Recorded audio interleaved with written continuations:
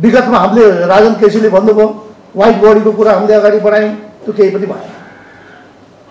त्यस्तै तपाईँको ट्रङ्क र डेडिकेट लाइनको कुरा उठायौँ बाह्र बाह्र अरब राज्यको तिर्नुपर्ने त्यो पनि केही भएन। लेखा समितिले अरात्र दिन मेहनत गर्ने तर त्यो चाहिने बालुवामा पानी खनाए जस्तै हुने क्या। त्यो हुनाले यो सरकारवाला व्यक्तिलाई हामी बोलाउँ अख्तियारको चाहिने प्रमुखलाई पनि बोलाउँ विराट छलफल गरौँ। हामी यहाँ मेहनत गरेर उपसमिति बनाएर छानबिन गर्छौँ। तर पछि गएर टाउकेहरू मिलेर यसलाई डस्टबिनमा फाल्ने कामहरू हुन्छ। अब यसलाई हामीले डस्टबिनमा फाल्ने कि यसलाई कार्यान्वयन गर्ने?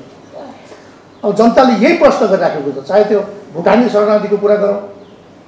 केही माछा त गए प्रधानमन्त्रीजीले फिल्म देखाउँछु भन्नुभयो यो ट्रेलर भन्नुभयो त्यो फिल्मै सुरु भएको छैन अहिलेसम्म। त्यो कहिले लाग्ने यो फिल्म भनेर हामीले सोध्नुपर्ने आवश्यकता मैले देख्दछु। विषयवस्तुहरू कार्यविधिमा छैनन् र त्यो ठुलो प्रधानमन्त्री